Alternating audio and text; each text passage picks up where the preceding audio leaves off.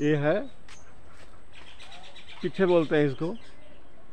बिहार में इसको बोलते हैं भोतुआ भोतुआ और बांग्ला में बोलते हैं चाल कुमड़ा। और यूपी साइड में बोलते हैं पिट्ठे आप देखो, ये दो है, बहुत है, सौ है, उधर आगे वाला ऊपर में है। तो इसका जूस पीने से शरीर का सारा टॉक्सिन ख़त्म कर देता है। इसके ऊपर और कोई टॉक्सिन का इलाज का दवा नहीं है। ये देखो। एक एक पाँच पाँच किलो का होता है। आप देखो ठीक से। ये टॉक्सिन का महा औषधि है। लीवर में, किडनी में, कहीं भी कोई टॉक्सिन जमा हो, खास करके दारू पीने वाला को लिए तो रामबाण है। यहाँ तक कि टॉक्सिन साफ़ हो कर कहीं, शुगर का भी कंट्रोल करता है। इसका मैं बताऊँगा। इसको रस छील करके और इसको रस निकाल कर पीना है। सप्ताह में दो दिन और महीना में आठ दिन। बस छः महीना, आठ महीने के लिए और नहीं पीना है। आप देखेंगे इसका कैसे पेट साफ़ करता है, पेट से जितना गंदगी हो जमा रहता है, सब निकाला गया ये आज का दिन में ये अमृत समान है। लोग जानते नहीं हैं। होता तो बहुत है। मोराबा बनाते हैं इसको लोग। यूपी में। बंगाल में इसको बोलते हैं चाल कुमड़ा ये देखो। अमृत समान है ये, इसका जूस। सप्ताह में दो दिन पियो, महीना में चार दिन पी लो, या आठ दिन पी लो, या देखो, ये क्या कमाल करता है। आप देखो।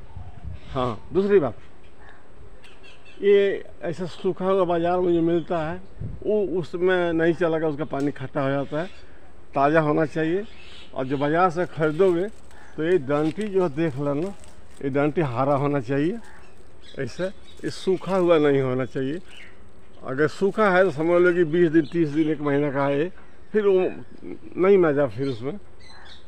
पानी भी खट्टा हो जाएगा, और उसका उतना महत्व रहेगा नहीं। वो उसका ऐसे सूखना नहीं चाहिए इसका डंटी। हरा होना चाहिए। ये आजमा के देखो। याद रखोगे। दूसरे को बताना ये अमृत है। ये रामबाण दवा है। जूस पीना है इसका। जूस बनाए तो सभी जानते हैं छील देना है। और काट कर छोटा छोटा इसको जूस बनाइए। अगर टेस्ट है। अगर टेस्ट नहीं है लगता है कि टेस्ट कम है तो थोड़ा सा उसमें भी विटामिन डाल लो या गोल की थोड़ा डाल लो। ठंडा के दिन में अगर पीना है तो एक गिलास में चार पाँच गो, गोल मरीच गोल की जिसको बोलते हैं पीस कर डाल दो।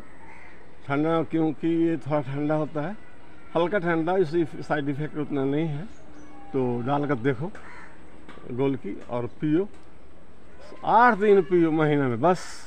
एक साल के लिए छः महीने से एक साल के लिए आपका पूरा शरीर का टॉक्सिन लीवर का टॉक्सिन जो भी आंत में रुकाव फंसा हुआ है, वो सब का सब निकल गए ये देखो, पीठे बांग्ला में चाल कुमड़े हिंदी में भथुआ बोलते हैं। देखो, ये ज़्यादा पुराना भी नहीं होना चाहिए, ये वाइट हो रहा है।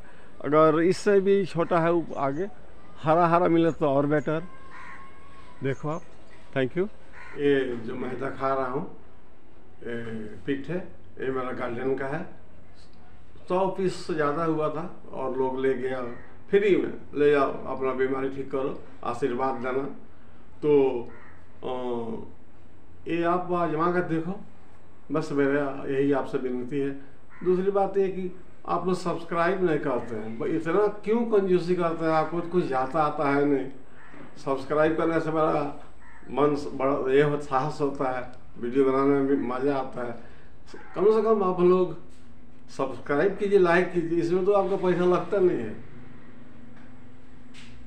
कोशिश करिए। थैंक यू, धन्यवाद। Thank you.